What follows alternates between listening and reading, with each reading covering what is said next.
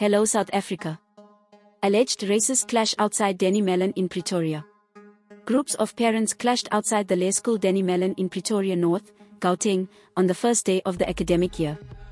Black parents alleged that their children are being systematically excluded as over 1,000 learners are yet to be placed in Gauteng schools despite some starting on Wednesday, January 11th.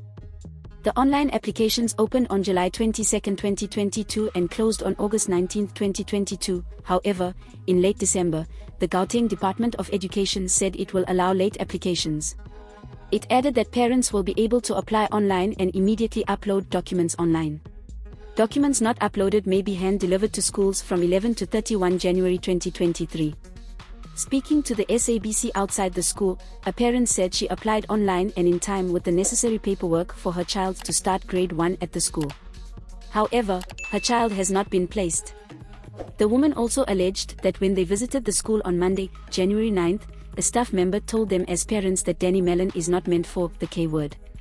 We are not being heard, the only system is not working, she said.